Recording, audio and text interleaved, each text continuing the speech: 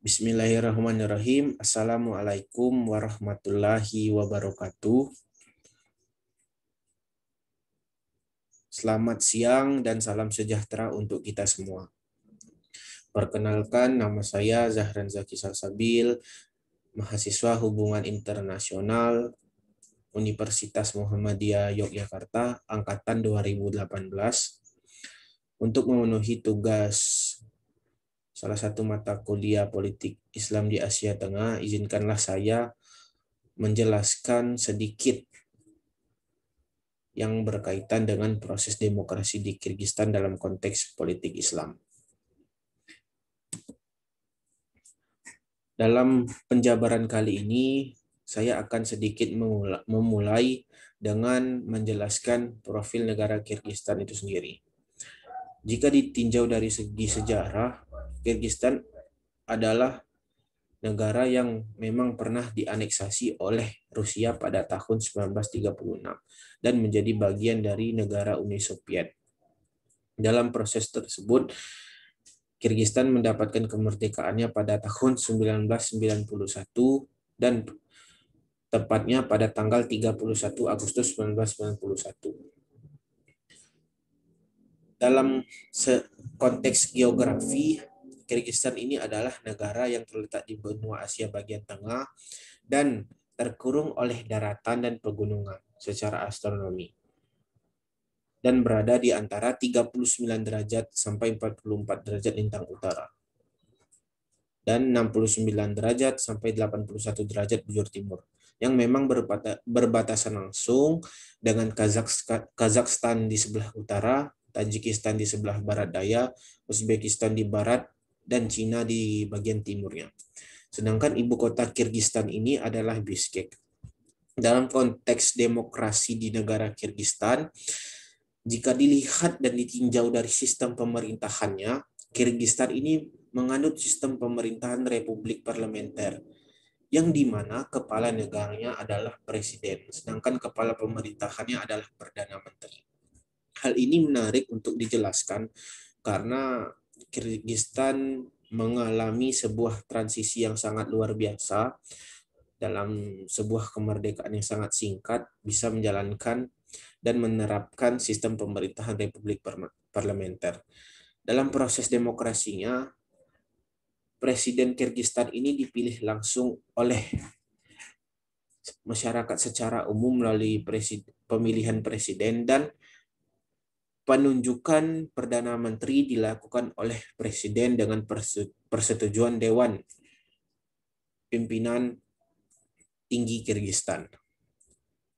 Namun di bidang perekonomian, Kirgistan ini adalah negara yang memang berpenghasilan rendah dengan ketergantungan yang sangat tinggi terhadap pengiriman uang dari warga negaranya yang bekerja di luar negeri. Hal tersebut didasari oleh karena tidak adanya akses yang bisa mengakomodir negara Kirgistan ini. Kirgistan ini adalah negara yang memang terbatas oleh akses laut sehingga masyarakat dan warganya bergantung terhadap sektor pertanian untuk dijadikan sebagai prioritas pencarian. Dengan tingkat pendapatan yang bisa mencapai 48% dari sektor pertanian juga memberikan ruang dan kesempatan bagi masyarakat Kyrgyzstan untuk mengembangkan sektor pertambangan dalam proses pencarian eh, dalam mengembangkan konteks negara. Sehingga banyak barang-barang yang memang bisa diekspor oleh Kyrgyzstan seperti wol, kain, dan sebagainya. Di hubungan luar negeri sendiri, Kyrgyzstan ini bergabung dengan PBB pada bulan Maret tahun 1992. Bukan hanya PBB, Kyrgyzstan juga bergabung ke organisasi-organisasi internasional di bawah naungannya seperti UNESCO, WHO, dan OKI. Selanjutnya, saya akan sedikit menjelaskan proses demokrasi di Kyrgyzstan.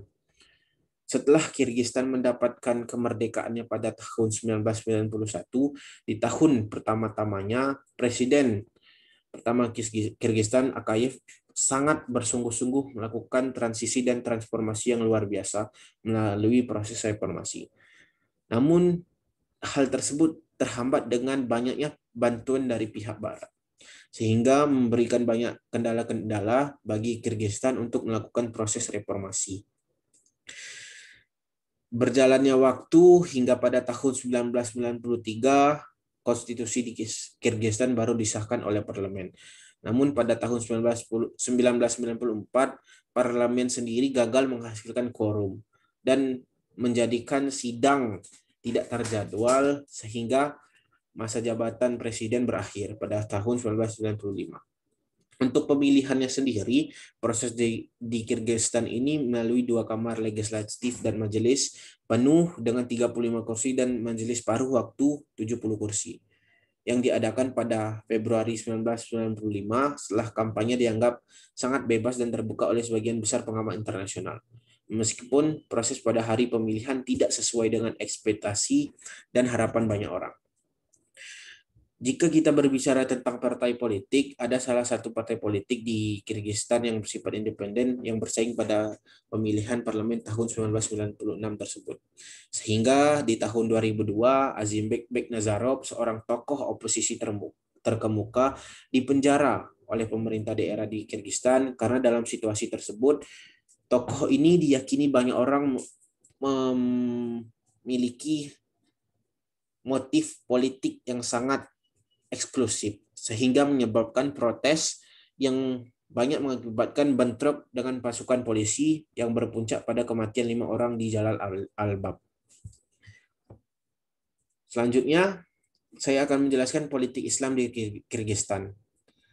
Apa sebenarnya relevansi antara demokrasi dan politik Islam di Kyrgyzstan ini adalah ketika memang berdirinya Partai Politik Nur dalam bahasa Arab kita bisa artikan sebagai cahaya karena pada dasarnya partai politik Nur ini adalah gerakan pertama di Kyrgyzstan untuk mengembangkan agenda-agenda politik yang bernuansa religius sehingga keagama agenda-agenda keagamaan di dalam Kyrgyzstan ini Kyrgyzstan ini seperti diskusi publik dan memperkenalkan norma-norma syariah Islam di negara kecil di Asia Tengah itu terbuka sangat lebar. Arstanbek ini juga sebagai pendiri partai politik Nur menginginkan niatnya untuk memulai karir politik pertama pada pada tahun dua pada tanggal 12 Januari pada saat ingin pemilihan. Namun setelah dua hari pemilihan tersebut di Kyrgyzstan di mana dia mencalonkan diri namun tidak terpilih dan hanya berdiri di urutan keempat. Di Kyrgyzstan ini sendiri banyak pihak yang mengklaim bahwa wawasannya adanya gerakan-gerakan sekularisme untuk di, diindahkan di dalam negara Kyrgyzstan. Namun hal tersebut tidak sesuai dengan konstitusi-konstitusi negara Kyrgyzstan karena regulasi dan konstitusi di negara Kyrgyzstan ini tidak menyetujui yang namanya negara sekuler di Asia Tengah khususnya. Sementara dalam konteks agama, Islam khususnya memiliki peran yang sangat besar dalam politik Kyrgyzstan.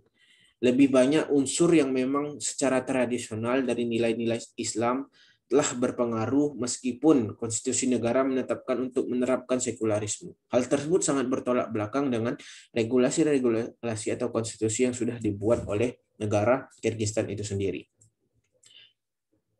Sehingga pada awalnya Islam memiliki garisan untuk mendirikan Islam fundamentalisme yang di mana tujuan tersebut adalah untuk mempengaruhi kebijakan-kebijakan negara yang memang merugikan orang-orang yang tidak mengakui agama Islam di negara Kyrgyzstan.